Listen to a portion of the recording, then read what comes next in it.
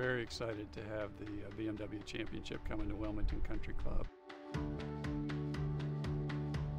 We're looking for a golf course that can test the best 70 players in the world. The best in golf take aim at Wilmington Country Club's South Course beginning on August 18th with round one of the BMW Championship. It's a big course. It's uh, over 7,500 yards long. It was designed by Robert Trent Jones Sr., uh, so it has very large undulating greens. I mean, it's a big, broad, modern day golf course, Robert Trent Jones design. Huge greens where the green complexes themselves have about four greens to them. So that is going to provide some really good excitement for the top 70. They're not going to know the greens that well, so hopefully that, that provides a challenge to them.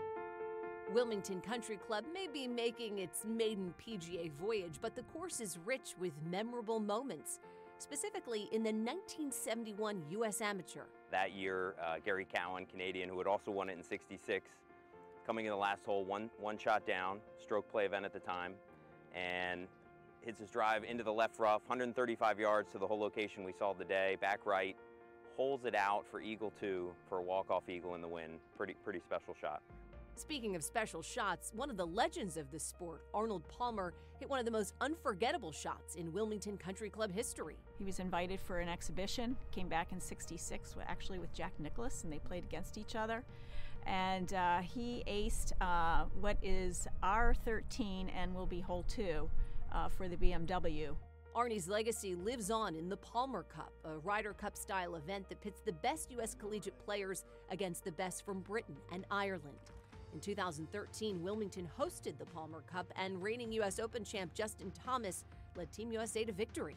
That really gave us a taste of what it would be like to have that caliber of golf here at the club. Even though they were all college students, it was amazing to walk around and watch them play.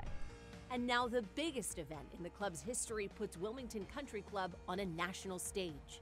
The BMW will demonstrate to the professional golf world that we are uniquely suited to holding an event, a tournament of this size and stature. A spectacular event at a beautiful place, professionally conducted.